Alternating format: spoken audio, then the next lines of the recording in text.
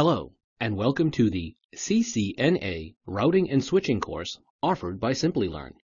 The previous lesson focused on VLANs and inter-VLAN routing. This lesson will deal with spanning tree and EtherChannel. Let us begin with the objectives of this lesson in the next slide.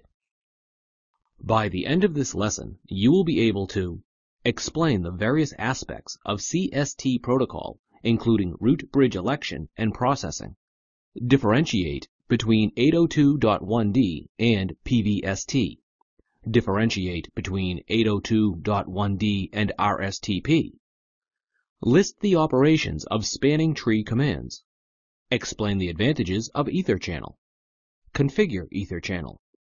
Let us discuss the underlying reason for spanning tree, redundancy.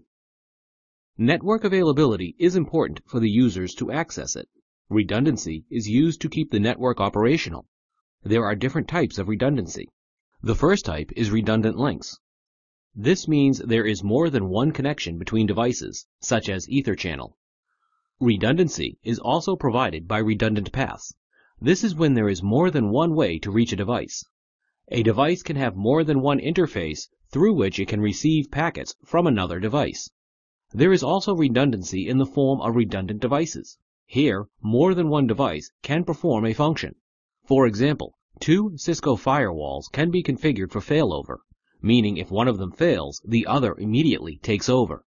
Therefore, redundancy is good, but it can have unintended side effects. Let us discuss spanning tree protocol in the following slide. Redundancy can lead to three problems that Spanning Tree Protocol, STP, can solve in the switching domain, namely broadcast storms, duplicate frames, and MAC table instability. This is because loops form when there are redundant links and redundant paths.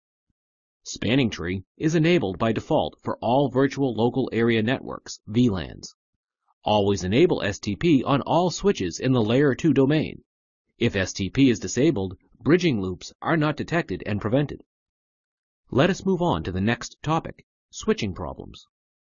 The MAC address table is filled. S1 receives a frame from S3. S3 has received this frame from S2, so the MAC address in the frame is that of S2.